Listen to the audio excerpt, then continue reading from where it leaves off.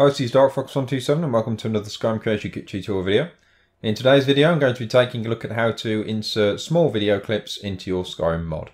These short videos are often used for intros and outros for people's mods and as a lot of people may know I've used that kind of thing in my own mods, especially Mershgum Estate and I also use them in another way, I use them as what I like to call time screens. And these are short video clips that appear on the screen once you craft an item using my own crafting system. Now that's something that I'll be going into a lot more detail with with the next tutorial which is for build your own home, which I've already done a tutorial on, but I'm going to be recovering because I've done a bit more of an advanced script.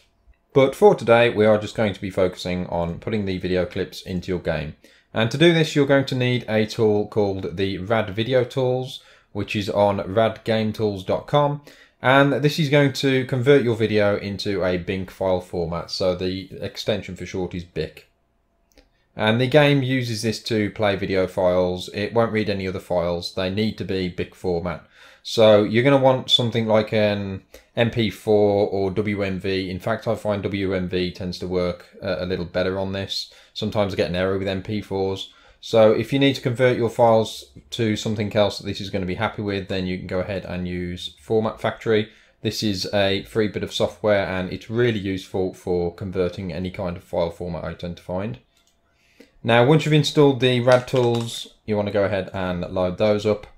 And as you can see, I've got my own little WMV file here. And if I just open this up, I'll show you what that is. It's going to be one of my time screens for Caranthir Tower Reborn.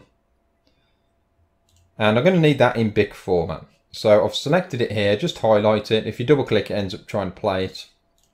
So just highlight it and hit bink it. Now you've got a number of different settings that you can play around with, but I find default tends to work okay. So I'm just going to go ahead and hit bink. Now, depending on the size of your video, it might take a few minutes, or in this case for me, because it's pretty short, it's just going to take a matter of about 10 seconds or so. And it should be done. So I'll just refresh that window there. And I'm going to open that up.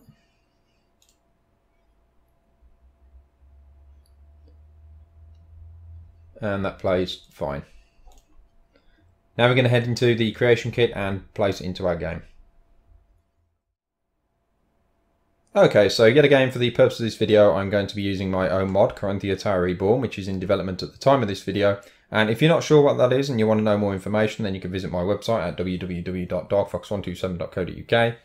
But just for this, I'm going to be placing, as you saw, my little time screen video into this mod. Now, the way that I'm firing this off is via my miscellaneous item, which once it's crafted in my custom crafting system, which is going to be sort of mentioned in my next video, I'm going to fully explain it there.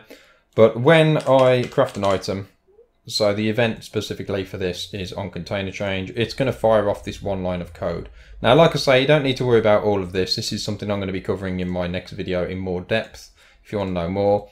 But you'll need to just have this one line. Now, if you're not too familiar with scripting, then you might want to go and check out my scripting tutorial series, which I'll leave in the description below and you'll see on screen now. And so this one line of code is fairly simple. It's Game.PlayBink, hence why we need to use bink files and then in the brackets it's got the name of my file. Now you're going to need to go to your data folder and video and this is where you're going to need to place your files. You don't need to list the whole directory. By default it's going to look in this one folder directory and as long as the names match up you should be perfectly fine and also make sure you put the extension on there so .bik otherwise sometimes it doesn't like to work. The other thing that I really need to mention is for some reason, for some people's games, it crashes the game when it tries to play these videos. I'm not entirely sure why it does this and I don't really have a solution, but in my own mod what I do is I leave an option to have these on or off, so I do some alternate way, alternate way of getting my information across that my video does. In this case that's fairly simple because it's just a time screen for how many hours are passing, so I'll do it as like a little notification. Now, if we just visit the Creation Kit Wiki site for playing these Bink files, you'll see that you have a number of options at your disposal. So you can have it so that the little movie can be interrupted. By default, that's off. Uh, should the normal game audio be muted? Should the game music be muted? And should the movie be in letterbox mode? Now, let's say that you wanted everything as default apart from, say, the third or fourth option maybe, and you wanted to set these both to false. As you can see below, what you're going to have to do is put comma, true, comma, true, comma, false, comma, false, whatever order it might be. You're going to have to list all of the ones up to the one that you're trying to get to because if you just put true, it won't know which one you're on about. It will just assume that it's the next one in the list, if that makes sense. So if I just wanted these two options and I wanted to change them both, then I would be putting true and then false. And you can have a bit of fun with this. You can change a number of different things. But all I'm doing is just simply playing the file and I'm keeping everything as default because that's pretty much fine for me.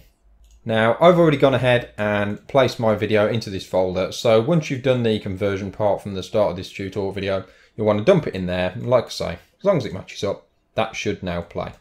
Make sure you compile your script and you're all good to go. So now I'm just going to load up the game and I'm going to show you this little time screen in action. Okay, so here I am in Caranthir Tower and if I just activate the workbench and select something to craft, you'll see that the appropriate time screen shows up.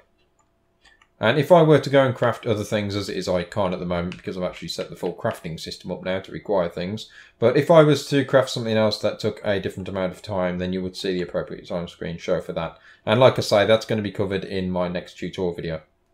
But that is how you get your short videos into Skyrim and like I say as long as they don't end up being included in your BSA and they are loose they should work fine and hopefully you won't have any problems.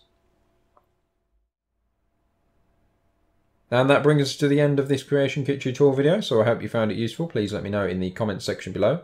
You can also follow me on my social media if you want to know more about Caranthir Tower Reborn and all of that good stuff. Then visit my website at www.darkfox127.co.uk. All the links are on there. If you haven't already, hit that like and subscribe button. Thank you very much for watching, and I'll speak to you next time.